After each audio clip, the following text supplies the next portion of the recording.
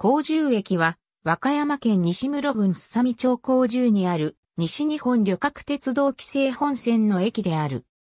この駅は1933年9月、国鉄規制再線のすさみ駅から当駅までの開通とともに終着駅として開業したが、その約2年後の1940年8月には、当駅から串本駅まで開通し、終着駅で亡くなった。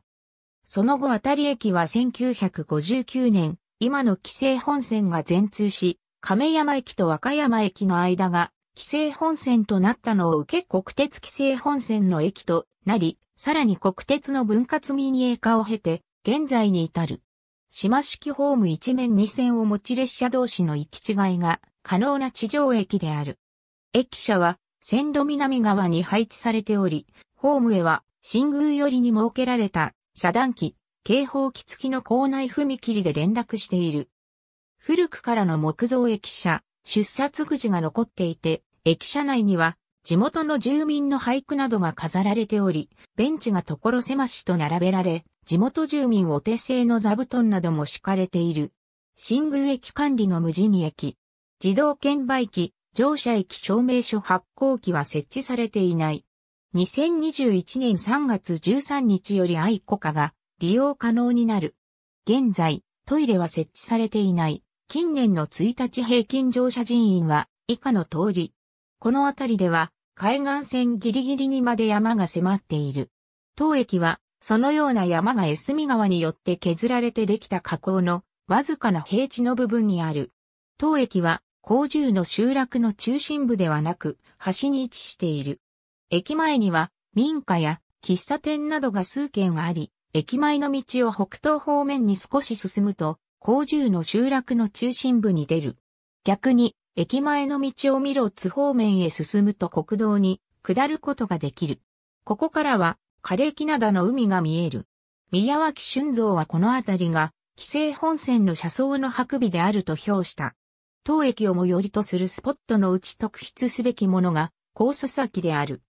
コース先は団地性植物群落が見られ、昭和28年には国の天然記念物に指定された。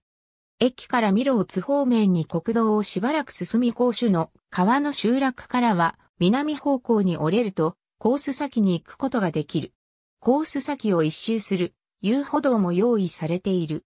かつては名工バスが日置方面へのバスを運行していたが2013年に撤退。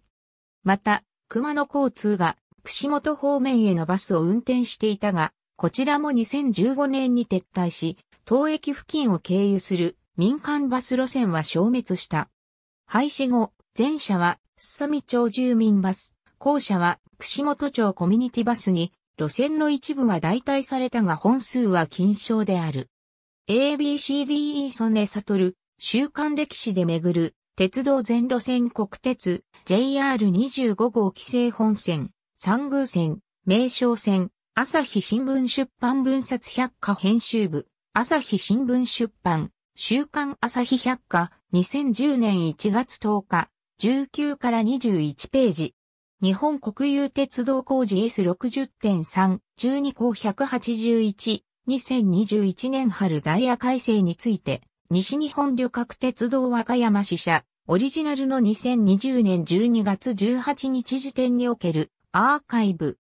https コロンスラッシュスラッシュウェブドットアーカイブドット org スラッシュウェブスラッシュ